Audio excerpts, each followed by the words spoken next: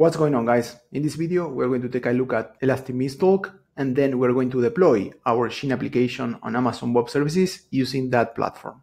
Elastic Beanstalk is a developer-friendly platform to deploy and scale web applications. These applications could be developed in Golang, Node, Java, .NET, Python, Ruby, or we can even deploy a single Docker container or multiple Docker containers.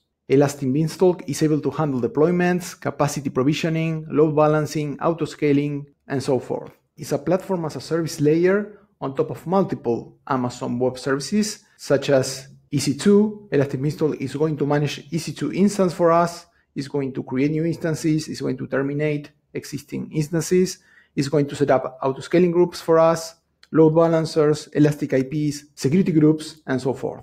Elastic Beanstalk is going to interact with Amazon S3 to store the different versions of the application, environment configurations, and application logs. Elastic Beanstalk introduces a level of abstraction to CloudFormation. In a nutshell, CloudFormation allows us to describe the infrastructure in JSON format, and we can use that definition to create the actual infrastructure. Elastic Beanstalk uses CloudFormation behind the scenes creating and applying the infrastructure definitions for us. Also interacts with other services such as CloudWatch, RDS, DynamoDB, SQS, SNS, and so forth.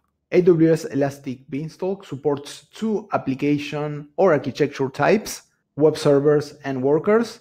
A web server application may include a single instance or a load balancer and multiple instances behind it. And in case of using a worker application, we're going to have an SQS with just one consumer or a single instance or multiple instances or consumers. In order to set up Elastic Beanstalk, we can use the web console, the SDK, or the CLI. And some similar tools are Heroku, Azure App Service, and Google App Engine.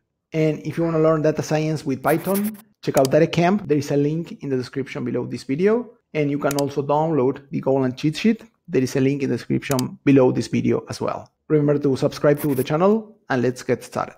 We are going to use the Elastic Beanstalk CLI, so we're going to need to assign the required permissions to our user in order to create the infrastructure we need to deploy our application. Elastic Beanstalk integrates multiple AWS services, so we need to create a policy such as our user is able to do multiple actions on multiple AWS resources.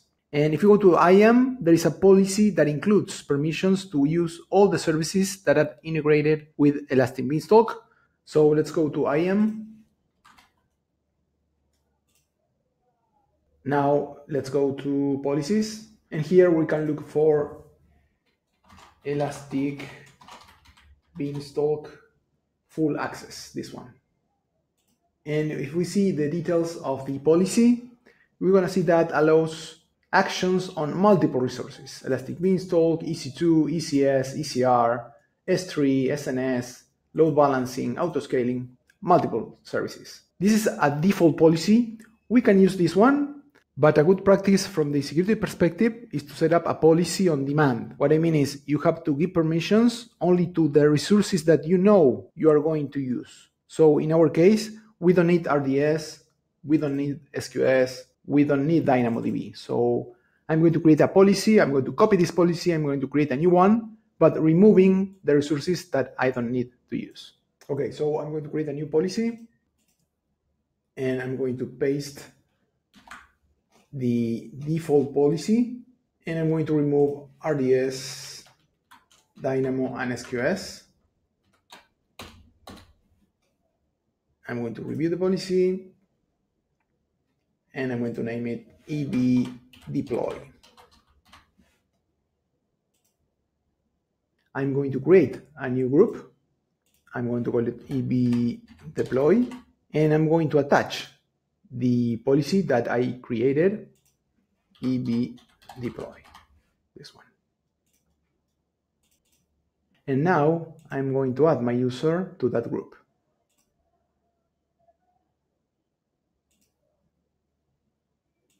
Add user to groups, and this is EB deploy, this one.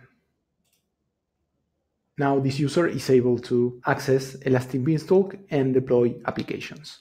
On a previous video, we created two groups for our endpoints. The first group, this one, is the API group that includes two endpoints. The first one will allow us to get the existing videos. This is actually a get endpoint and a post endpoint that is going to allow us to create new videos. And the second group is the view group where we render the existing videos using HTML and templates that we created here on this folder. Before deploying our application on AWS using Elastic Beanstalk, we are going to apply a basic authorization middleware just to the API group here. The view group, this one, is going to be public, so there is no authorization required in this case. And the last change I made to the code is setting up the port here by default as 5000 and this is the default port number that Elastic Beanstalk using Nginx is going to forward the requests. And here I'm also reading the port from an environment variable. So we can change it from the Elastic Beanstalk console. There is a place within the Elastic Beanstalk console where we can easily edit all the environment variables that are being used by our application. So with Elastic Beanstalk, we can deploy the application using two approaches. So we can either be platform specific, in this case with Golang, or we can take a platform neutral approach and deploy our application using Docker containers. In this video, we're going to deploy using a platform specific approach. And in a future video, I'm going to deploy the same application, but using Docker containers. Okay, so to deploy our Golang application without using Docker, we need to provide a few files. The first file is going to be a shell script to build the application. So in our case, it's going to download a couple of packages and dependencies here for the Gin HTTP framework and the validator. And it's going to build the application running this command. And it's going to generate a binary file named application within the bin folder here. Another file that we need to provide in our deployment is the build file that basically indicates what is the shell script file that Elastic Beanstalk needs to run in order to build the application. And in our case is this one.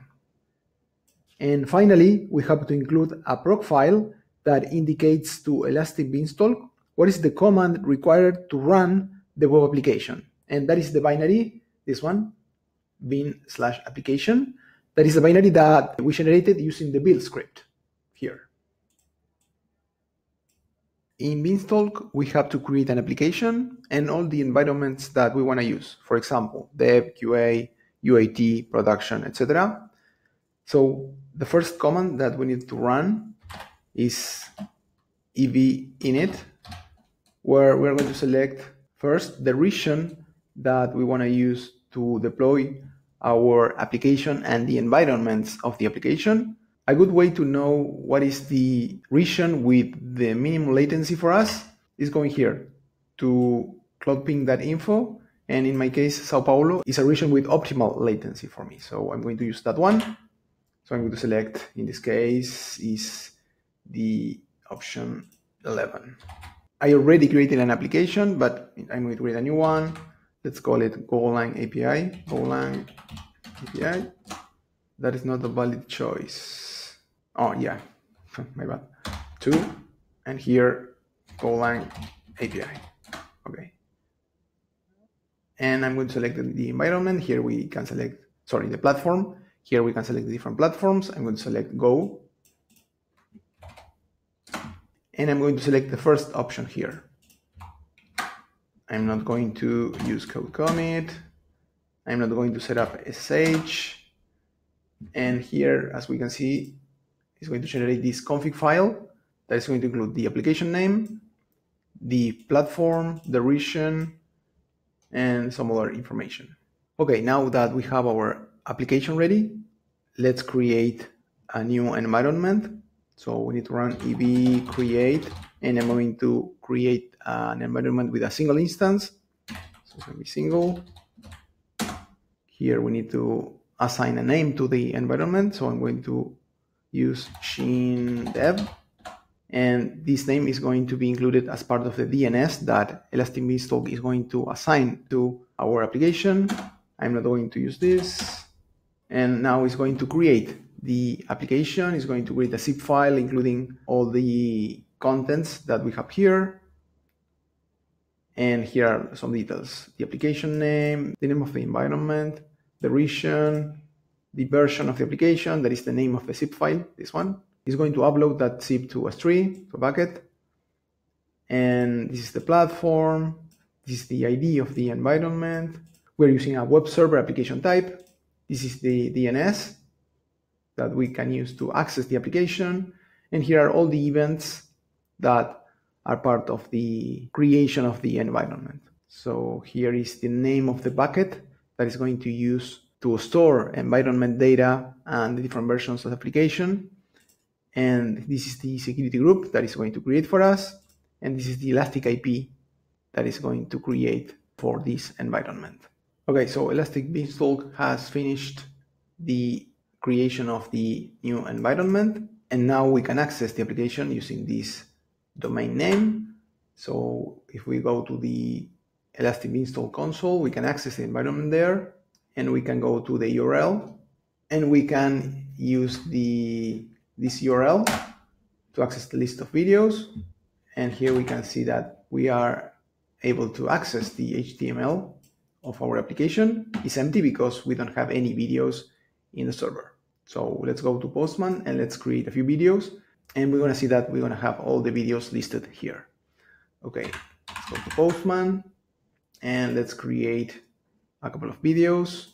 Remember that we enabled a middleware, an authorization middleware. So we need to pass this authorization header or we can use this option here. We can select basic auth and select pragmatic and reviews as the password. Okay, so let's create another video, another video here, and let's create another one. And now if we go back and we refresh here, we're gonna see that we have all the videos created. So if we go to the Elastic Beanstalk dashboard, I'm not going to do a deep dive here, but the most important options are here the configuration section where we can set all the environment variables using this UI. We can also set the auto scaling policy here. We can select if we are going to use a single instance or a load balanced environment. And here we can say how many instances we're going to use. We can set up the auto scaling triggers. And here we have different options. If we can scale depending on CPU utilization, network in, out, and latency, request count, and some other options. And here we have some other configurations that we can do. Here is the logs section where we can access the logs of our environment. Let's say that I want to get the last 100 lines of the log. I can access that from here.